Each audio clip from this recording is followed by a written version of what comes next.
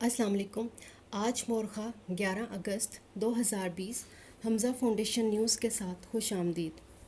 पाकिस्तान की कोरोना से निमटने की हमत अमली की आलमी सतह पर पजीराई बिल गेट्स ने पाकिस्तान की इस कामयाबी पर कहा है कि पाकिस्तान की हुकूमत ने कोरोना से निमटने के लिए मेहनत की है।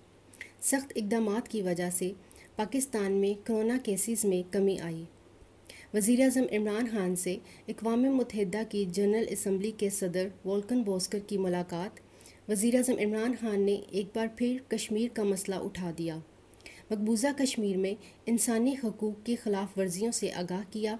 वज़ी ख़ारजा शाह महमूद कुरैशी ने भारत की जानब से सरहदी खिलाफ वर्जियों के मतलब आगाह किया।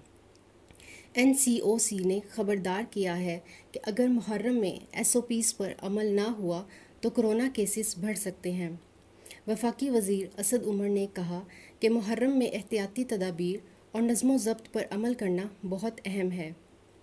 वज़ी अला उस्मान बुजदार की जेर सदारत काबीना कमेटी बरए अमन अमान का अजलास वज़ी अला की मुहर्रम में मुकम्मल सिक्योरिटी इंतज़ाम की हदायत लाउड स्पीकर पर पाबंदी के कानून पर सख्ती से अमल दरामद कराया जाए।